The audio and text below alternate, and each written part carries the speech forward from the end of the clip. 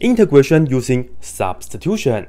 We have the integral of sine x over cosine x, and then we are making the substitution, letting t equal to cosine x. And here's the main question. The first step doesn't make any sense to me. How exactly can sine x over cosine x equal negative 1 over t when t is equal to cosine x? Well, let me explain. First, this right here is just the integral of tangent x, and usually just write the x over cosine x. That allows you to pick t to be the denominator. So this right here is t, which is on the bottom. It looks like we just have the integral of sine x over t, right?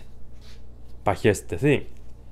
Right here, we also have to get the dx from this equation.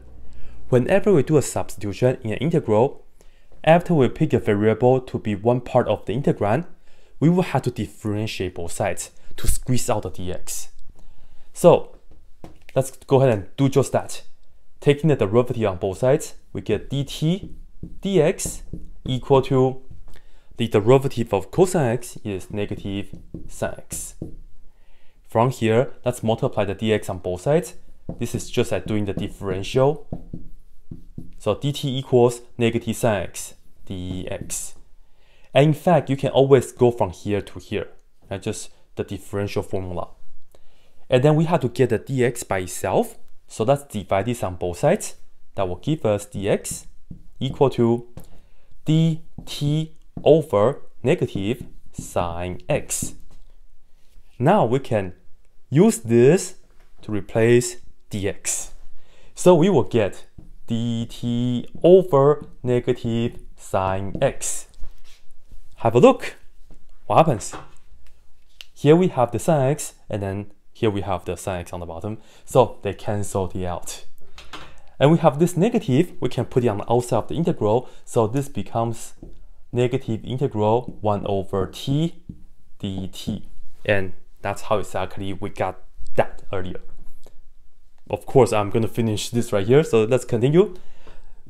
The negative stays and the integral of 1 over t. You ask yourself, the derivative of what function will give you 1 over t?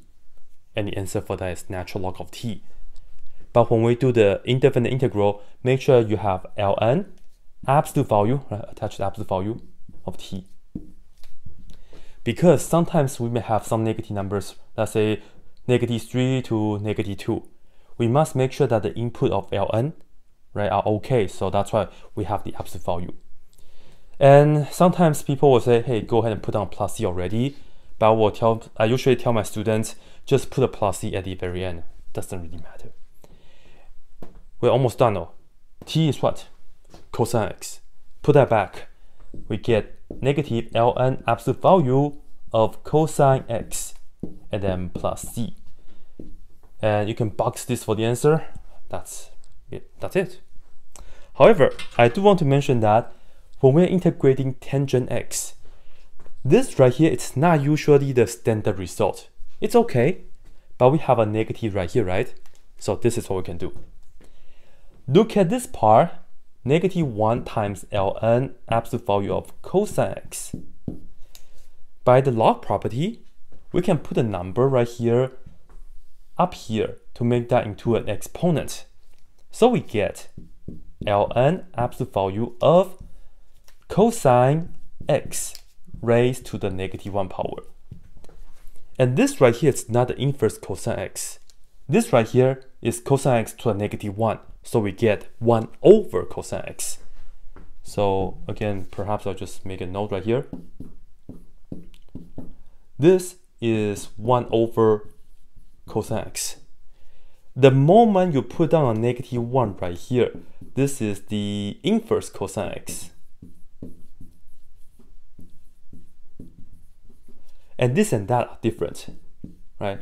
This and that are different. They are not equal. I know it's bizarre because sometimes if you put like cosine and then square, we say that's equal to cosine, and then we put a 2 right here, right? I agree. The negative 1 notation, this is perhaps one of the worst notation, right?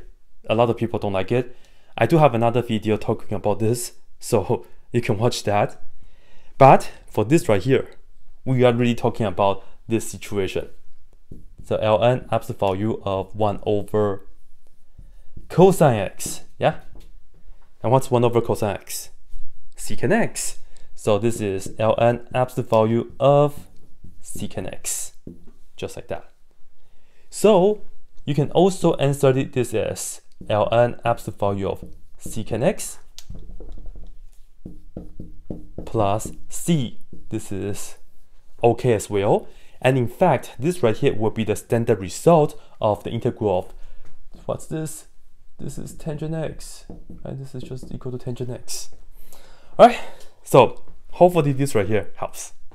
That's it.